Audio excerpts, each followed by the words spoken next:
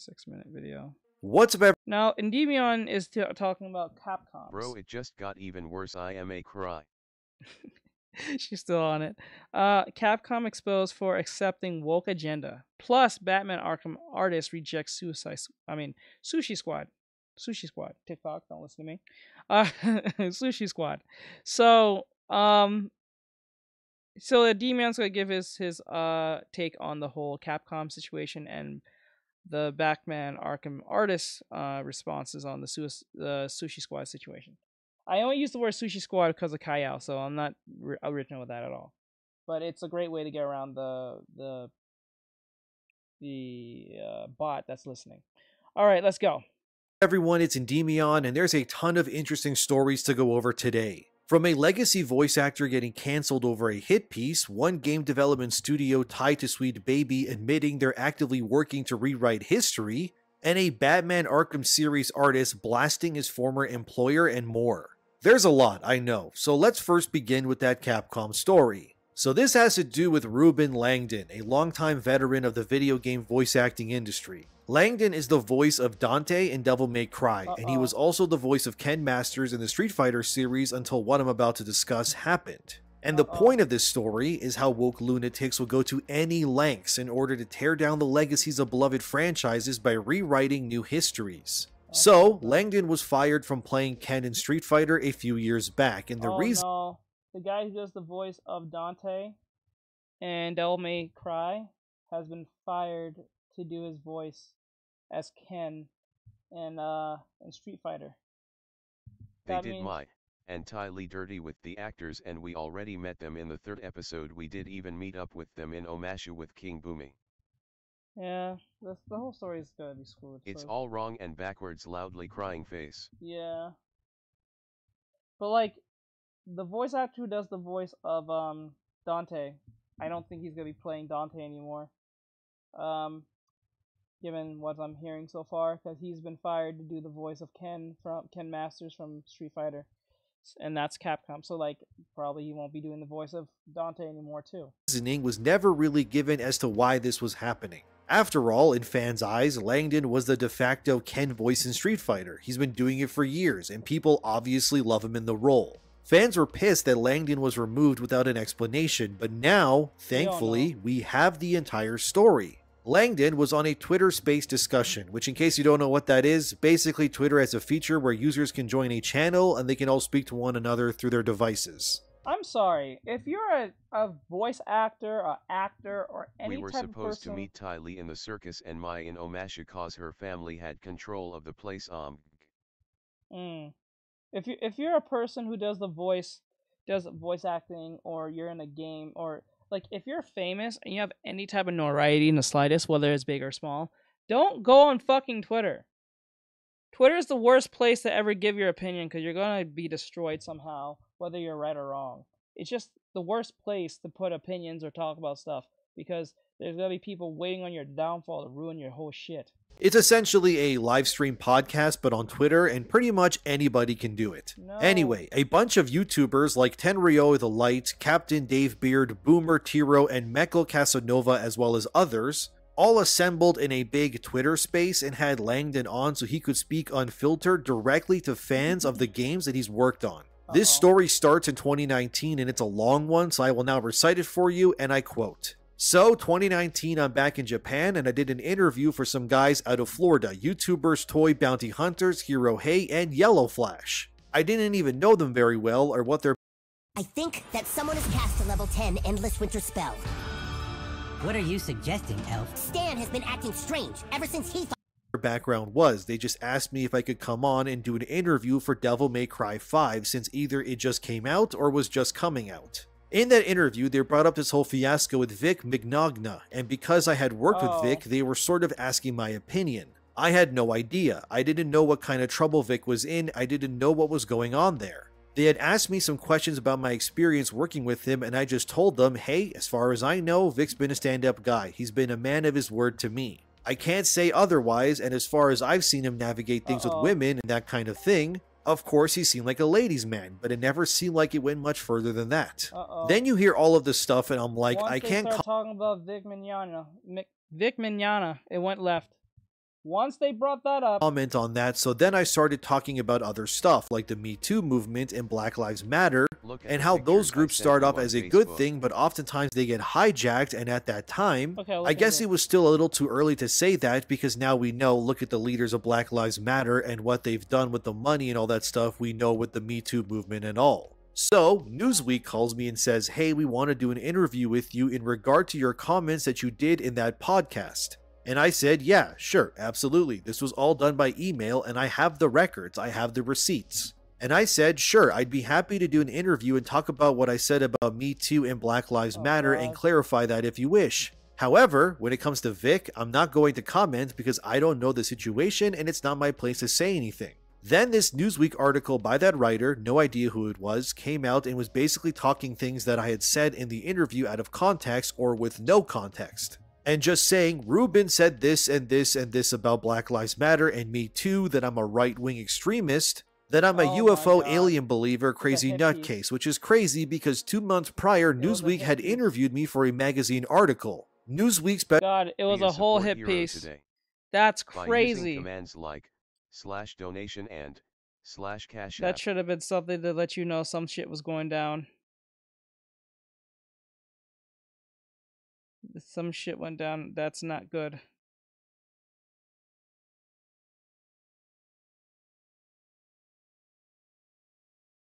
Wait, what? You say you sent me something? Oh, you sent it on Facebook. Okay, never mind.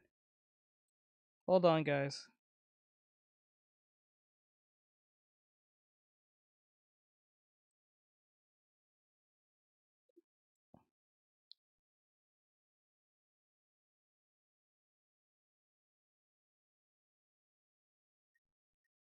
she has chubby face as you.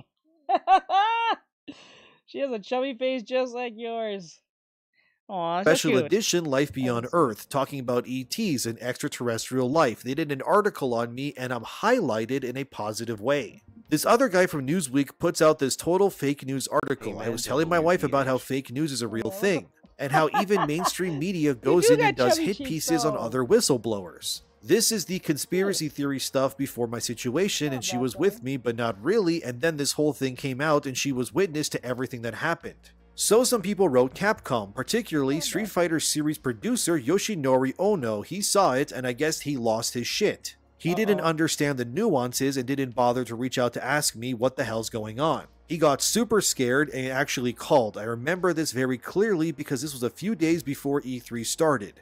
My partner calls me and he goes, Ruben, what did you do? And I'm like, what do you mean? I didn't do anything. You don't realize how much damage you've done. We just lost more the Street Fighter gig. not to be Yeah, because of that Newsweek article, we, the motion capture company Just Cause Productions that I was no longer a part of, actually lost a multi million dollar gig. Because oh Ono, in a sense, thought that I Oh. was still part of the company, which I wasn't, didn't do any research, any homework, didn't look into it, or even bother to have a conversation. I tried to arrange a meeting so I could sit down with Ono san and explain what happened, that this was all taken out of context. This was not the case. It was a hit piece, literally, from this Newsweek guy, but Ono san wouldn't have it. He wouldn't even take a meeting. It was crazy. Everybody was trying to get me a meeting, so you know, I just left it as it is. Did my apologies to my partner. I'm sorry this has happened this way. This is just the crazy world we're in. So basically, all that happened. Years later, COVID hits, and then yes, I'm very vocal about the jab, about the forced vaccinations, which is a breaking of a Nuremberg code from World War II.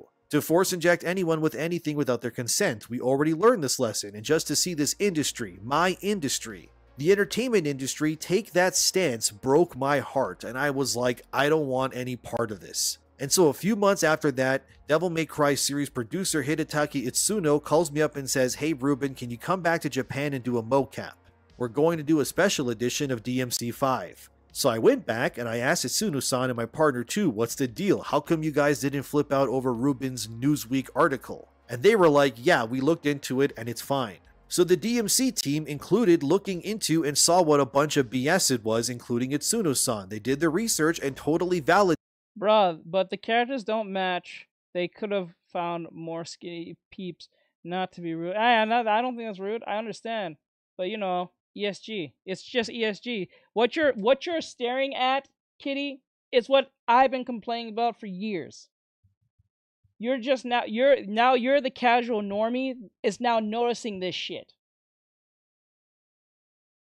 When I was saying this shit it was considered hateful, hate speech, all this X, Y, and Z on TikTok or whatever case may be, whenever I talked about this shit, you are the normie who I've been toying this to, and you fall asleep to what I'm saying. Now you're looking straight at it and you're pissed off at your show. That's exactly what you're you're expecting. You're getting what I've been talking about from years, and you get called a certain name or whatever case may be, or it's pointing out the obvious on why something is not the working. PTSD crap with Katara is really bothering me. Yes, that that part. Yes, that is part of the the the the anxiety stuff that they're pushing in and all that stuff. They're trying to be as diverse as possible from mental health all the way to race and this, down the third. Everything and anything they can chew in, they will do it. You, this is not Avatar. This is a this is this is something completely different that you're dealing with. That is not Avatar: The Last Airbender. It it, it ha- is only by name. It's not the show. validated that I didn't say saying this for anything to offend anybody, or I wasn't whatever Newsweek tried to make me out as, all the lies, so it was fine. End quote. That was a lot to recite, but it's important you get the whole picture, and what we just witnessed was a legacy voice actor in one of gaming's oldest franchises getting cancelled and fired from a role over his words being taken out of context. And this is why it's important for things like those Twitter spaces and free speech platforms in general. Because without them, Langdon's words would be further transformed in order to hurt him solely because he doesn't bend Here in Gaza, where every Oh, day God, is a here we go with this. No, I'm not listening to this. to the woke agenda. And notice how when Langdon was a part of that Twitter space that not a single mainstream site, your IGNs or your GameSpots, would run an article defending Langdon. However, when Newsweek ran their hit piece, of course the mainstream media outlets dogpiled on him as much as they could. This is the danger of modern gaming journalism, or honestly, entertainment journalism as a whole these days. There's a ton of activists and bad actors out there looking to ruin someone like Langdon because they don't agree with him. And this is what I'm saying when I mean these mainstream sites tend to go out of their way to rewrite mm-hmm. new histories. Because even if these stories told are lies, all it takes is for people to ignore the truth, and then that lie can, in time, become the new truth and gospel. Yep. And in Langdon's case, that's exactly what happened. His career took a hit, and he lost a lucrative deal with Capcom when it came to Street Fighter. Thankfully, at least the Devil May Cry team didn't fall for the same bait and actually did their research. According to Langdon, which he also said during that Twitter space talk, is that the Street Fighter producer that fired him ended up leaving the company the following years due to a lot of inner turmoil with Capcom. Are you So not only was Langdon wrongfully fired, but it was done by a producer who was butting heads with Capcom's executives already. It was all a Who giant mess. is rehired what I'm- him? What the hell? So let me get this straight. The guy who fired him was a. Already met the guy. Are you the train. serious? So the dude. So the dude who fired uh uh Ruben, who does the voice of Dante and Ken, or now not Ken anymore, was having issues with Capcom already. So out of a bl- uh, out of like a, a a a blaze of glory, he takes out the person who does the voice of Ken Masters all these years from Street Fighter just to prove a point, or just to get a last say after he leaves the company. Are you serious right now? Hire that man back. What are you doing? I'm saying, but it's important we document and spread awareness for these What sorts the of stories. Because you and I both know you He's won't hear IGN or others going out of their way to admit they were wrong. four Aang learns the four elements and is ready to defeat Fire Lord Ozai. What's next in the episode for uh anyways four hours and rated? Wow, that's in one season? When they dogpiled on Langdon like they did, nor will Newsweek. He And this is the power of the cancel culture these often woke activism drenched weirdos push. It doesn't matter if what She is being said is true that. or not. All that matters is if their echo chambers believe it enough to make it a new truth, a new history. And then a lie can be just as powerful as any other weapon and be used to destroy people who don't agree with them, and that's scary to me. And it makes what people like myself, Yellow Flash, Critical Drinker, and more do that it's so important. Because if the actual community, the people like yourself and me, don't speak up against these sorts of things, they will just become the new normal. And like Langdon said when it came to the pandemic, it baffled him how easily the public's opinions on things could be swayed or met the Wheels transformed. Chair Kid in And it was, after all, only through fear and misinformation. This brings me to a sweet baby partner in the form of Compulsion Games. These are the same people who made games like Contrast and We Happy Few, and their next game is called South of Midnight, which you likely haven't heard of because it doesn't look particularly interesting or noteworthy, but that's not the point. Like I said, Compulsion is a client to Sweet Baby, and remember when Crystal Dynamics attacked the Tomb Raider remasters and condemned them, calling them a collection of racist, out of touch games they don't agree with? Well, Compulsion Games then decided to retweet that and had some words to say, so let's read it. Uh-oh. Many video games are a product of the times they were created in. As we look to recreate and remaster these stories for modern audiences, it's important to consider the implications of these harmful portrayals and do our part to rewrite new history and not repeat it. We applaud our peers at Crystal Dynamics for their reflections and corrections.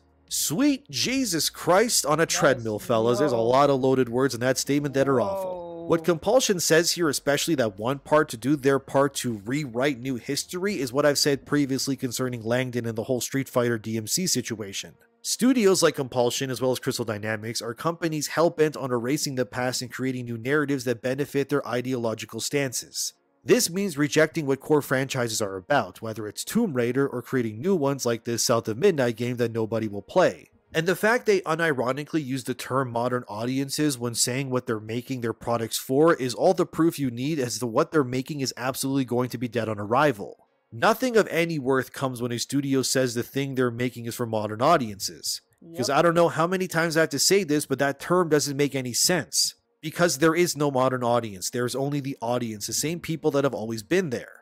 This magical, super left leaning, woke, mind rotted monolith places like Compulsion or Crystal Dynamics believes exists is ridiculous. And we already saw what happened when Crystal Dynamics made an Avengers game for modern audiences. It failed, it imploded, and now you can't even buy the game anymore unless you have it pre installed on something prior to it being delisted. Because they took an Avengers game and they made Kamala Khan one of the most woke, tokenized New Age Marvel characters that fans have been rejecting for oh, years now. man, I hate playing as Kamala Khan in the fucking uh Avengers game. That was boring as hell. I hated her powers.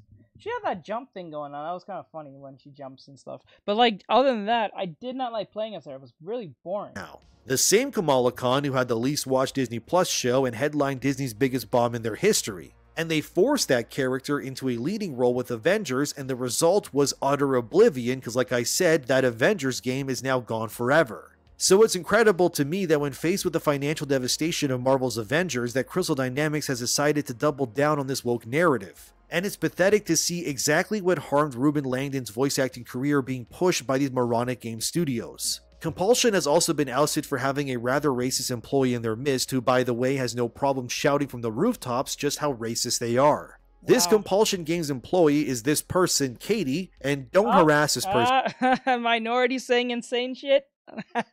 Not surprised. And by the way. Let's just look into what they're saying, and you can see in real time how this sort of insanity is rotting the games industry within.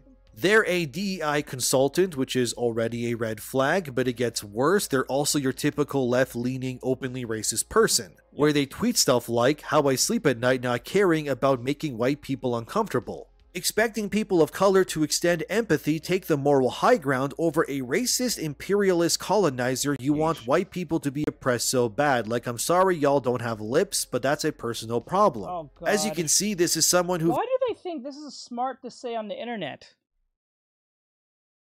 I don't understand why they think it's smart to say this stupid shit on the internet. Sokka has a lazy eye, loudly crying face, Sokka has loudly crying face, loudly crying face, loudly crying face. You're still complaining about that shit. you still complaining about that shit. oh my god. oh my god. This sounds familiar, NGL. Not gonna lie, yeah, you know how this is gonna go, bro. very clearly thinks white individuals are the devil and believes they're a victim and all their problems are Yep, tied to the the- existence of white people yep, because it's a convenient cop out for them. And I think this other tweet just says it all. Honestly, I hate gamers. Ah, yes, this is definitely someone who should be working in video games, someone who hates the people who keeps them employed and attacks large demographics of people for simply existing. Hateful people like this exist a dime a dozen in the game industry, but it's but a taste of what I'm saying when I present to you how these companies allow these people to not only stay employed, but these studios actually endorse and encourage this sort of behavior. Because we both know if a white developer said this exact same thing about What? black players, they would be excommunicated immediately. It's not okay, no matter which way this sort of rhetoric goes, and I'm tired of the double standards. And that phrase, rewrite new history, should become a new term when talking about these sorts of like minded racist individuals. Because it's proving the point, which is that what's going on these days, especially in Western studios, is a deliberate push to change things. It's not necessarily about the creativity of what video games are even about anymore, but instead it's about overriding and implementing the socio political stances these echo chambered cycles believe in into every piece of media that they make. And it's done deliberately without a care of what came before or what made the things they're ruining popular to begin with. This Oh, leads shit, me to the does. next story, which concerns Batman Holy Arkham shit. and, of course, Suicide Squad Yes, Kill the does. Justice League.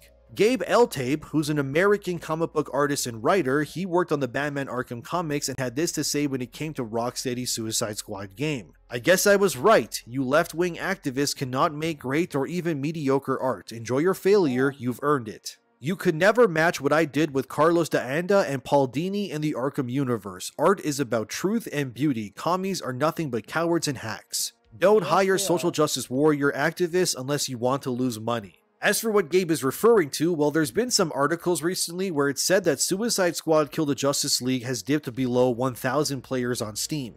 This article from thegamer.com cites that Suicide Squad has lost around 85% of its player base already since launch. Which, need I remind you, as of the making of this video, it hasn't even been a full month since Squad's release. But it's actually gotten even worse since this article came out. I can confirm again, as of this video being posted, that Suicide Squad is sitting at around 127 players currently on Steam. You read that right, friends. 127 They people are all that's playing Frank Dirty. Suicide Squad, not even a month after Sorry release. And the game has an entire year of content coming, and they've effectively lost the majority of their player base entirely already, at least on Steam anyway. I'm sure some will come back to check out the game once DLC drops, but 127 players this soon after release is beyond abysmal. As I've stated in some recent videos, I've actually gone back and played some Batman Arkham myself. I platinum Batman Arkham Asylum again already recently, this time on PS4, and I'm currently 47% done the entirety of Batman Arkham City again and loving every minute of it.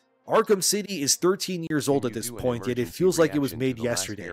Everything about sure that game sings of gameplay already. perfection, and its I'll do it after this. level design is so incredible. And when I first played City and completed it back in 2011, I largely ignored the Riddler trophies because I was younger and impatient. But now, I've thrown myself into Okay. collecting them and finding the puzzles surrounding these Riddler trophies to honestly be some of the best content in the game. Like Gabe, who drew those Arkham comics, said, art is about truth. And the Rocksteady of today is but a shadow of itself as it's been overrun by like minded activist weirdos. The likes who would agree with someone like that person who works at Compulsion Games. And Suicide Squad, like Crystal Dynamics or Compulsion Games, these studios that personify that belief of rewriting new history by killing the legacies of what made these Oh, they companies great before, right whether they- it's they shooting Batman dead right in an alley or compulsion. or. There's a lot. they're compulsed- This leads me to the they're next story, which concerns Batman stuff. Arkham and, of course, Suicide Squad Kill the Justice League. Gabe Eltaeb, who's an American comic book point, yet it feels like it was made yesterday. Everything about that game sings of gameplay perfection, and its level design is so incredible. And when I first played City and completed it back in 2011, I largely ignored the Riddler trophies because I was younger and impatient. But now, I've thrown myself into collecting them and finding the puzzles surrounding these Riddler trophies to honestly be some of the best content in the game. Like Gabe, who drew those Arkham comics, said, art is about truth. And the Rocksteady of today is but a shadow of itself as it's been overrun by like minded activist weirdos. The likes who would agree with someone like that person who works at Compulsion Games. And Suicide Squad, like Crystal Dynamics or Compulsion Games, these studios that personify that belief of rewriting new history by killing the legacies of what made these companies great before. Whether it's shooting Batman dead in an alley or turning Lara Croft into a man-jawed feminist, it's as they say, part of the plan, which is to rewrite old stories, purge Man, them of anything they don't agree with, and use lies however they can to inject new histories and truths into legacy media, until they no longer resemble what fans loved about these series to begin with. Ruben Langdon was a victim of these woke psychopaths, and he lost a role of a lifetime in Street Fighter because a single writer who gained Langdon's trust decided Langdon must be purged from the industry for no other reason than because they felt threatened by his existence. Could it be because Langdon is a white man? Could it be because he verbally spoke out against the pandemic or the virtue Says signaling nonsense good. that plagues his industry? Maybe it's all of that and more. The point is that there is a concerted effort, no matter how big or small, that's being pushed constantly from all corners of the gaming industry and beyond. Unfortunately, I am but one man, running a solo operation here on this channel, and I cannot realistically cover everything simultaneously. But I am doing my best to bring to light the stories of those who are being silenced for unethical reasons. And I want to shine a light, no matter how bright, on the parts of these industries that are plaguing this medium for all the wrong reasons. I have no problem with anyone regardless of their skin color or gender, but I don't think it's right to enforce these beliefs while also cherry picking who needs to be cancelled like this. What Compulsion, Crystal, and Rocksteady have done here as well as Capcom to a degree is horrible. And how much more do we have to lose before enough is enough? It pains me knowing I'll never have another new Rocksteady Batman game that respects the source material like those four games did in the 2010s. It pains me that Lara Croft will likely become a feminist charged woke disaster, and it angers me that people like Langdon are being unjustly ruined to fit narratives. The stink of this industry needs to be fixed, but I can't do it alone. So I ask you if you have any stories that need telling, you find a way to tell them. Whether it's through social media, comments, emails to me, or whoever else, I need the help of the people watching to save gaming and beyond. I refuse to believe that things can only get worse, and I'm sure there are those out there who see what I do as only a negative light. But the truth is that in order for there to be good, sometimes you need to do bad things. And the truth is, dear viewer, we have to work together as a community to keep this industry more accountable and just of their actions. Otherwise, all that will be left is utter chaos. Mm. And I don't know about you, but I love gaming too much to see it fall to ruin. So, I thank you for watching. Consider liking, subscribing, and sharing the video to spread awareness as well. I genuinely appreciate anyone who even considers watching anything I've made. And know that without your viewership, I'm nothing, so I will do my best to be worthy of your support. Thanks to my patrons as always, and have a wonderful day. There sure is a lot of darkness in this industry, but if you ask me, I think the light is winning. I'll see you in the next one. Bro, I understand. We decided to collaborate to I understand completely where Demion's coming from. There are too many bad actors in the fucking industry for to, to be part of it because there's someone's gunning for you for some Katara odd and reason. Suki the only good looking ones the freedom fighters are all correct so far just too early. Let me see. Hold on. Let me type it in. Hold on. Uh, so with those, watch this. Thank you for watching. Like, subscribe, share, follow, and comment. We did this reaction with Demion talking about the Capcom exposed for uh, accepting woke agenda, and Batman Arkham artist uh, rejects the Sushi Squad. Now, um, I would like to say to give that dude his job back. He didn't deserve any of that shit that happened to him um, at all. He made it very clear he didn't know what was going on, X, Y, and Z. And for that dude to just take his job like that, you should rehire him, Capcom. That's not fair to him. Come on, bro. That's not even cool. And they're very much aware because they didn't get rid of him for May Cry, but they should put him back for um for uh put him back on Street Fighter as Ken Masters. Put him back, right? I know they're not gonna listen to me. They're not gonna see this, but like Jesus Christ, Says if you Hey think about it, it's not fair. The trick with drawing crop tops was again. That is not fair to do to happen to him. That is not cool. So with that said, I'd like to say thank you guys for watching. I'd like to see you guys next time. Like, share, follow, and comment, and I'll see you guys next one. Laters.